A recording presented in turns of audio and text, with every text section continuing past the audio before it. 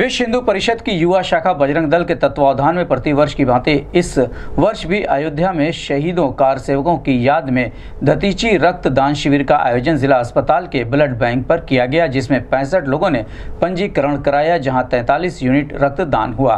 रक्तदान शिविर में प्रोफेसर अजय शुक्ला व विहिप के प्रांत संगठन मंत्री प्रदीप पांडे, बजरंग दल के सह संयोजक दुर्गेश त्रिपाठी सहित अन्य पदाधिकारी और सदस्य मौजूद रहे। इस दौरान रक्तदाताओं को प्रमाण पत्र भी दिया गया। गोरखपुर न्यूज़ से बात करते हुए बजरंग दल के गौरक्षा प्रांत के सह संयोजक दुर्गेश त्रिपाठी और प्रोफेसर अजय कुमार शुक्ला ने कहा।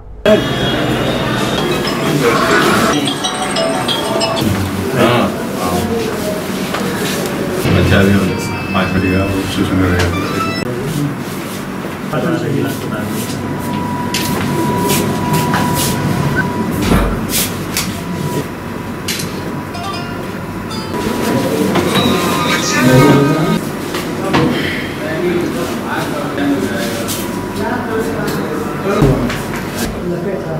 रहेगा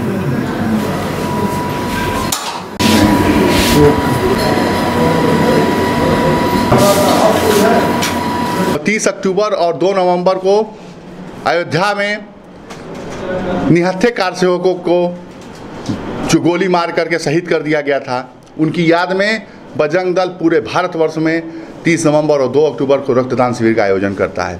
इसी क्रम में आज गोरखपुर महानगर में रक्तदान शिविर का आयोजन किया गया है। अभी तक सुबह से 25 यूनिट रक्तदान हो चुका है और हम लोग का लक्ष्य 100 यूनिट का है।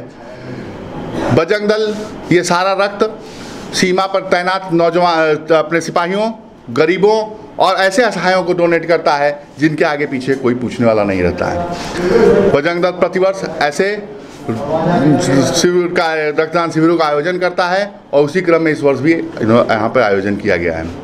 मेरा मानना है कि रक्तदान जितने दान होते हैं, उसमें सबसे बड़ा दान माना जाता है।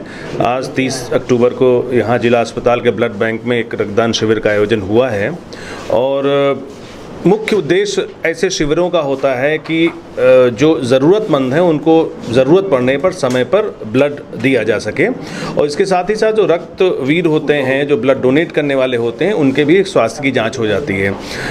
प्रातः साढ़े दस बजे से ये लगातार चल रहा है और अभी तक पच्चीस सौ लोगों का टारगेट है कि होगा। और मुझे पूरा विश्वास है कि इस तरीके के जो शिविर होते हैं, उनसे समाज में एक बड़ा अच्छा संदेश जाता है कि ज़रूरतमंदों के लिए समाज में दूसरे लोग खड़े हुए हैं।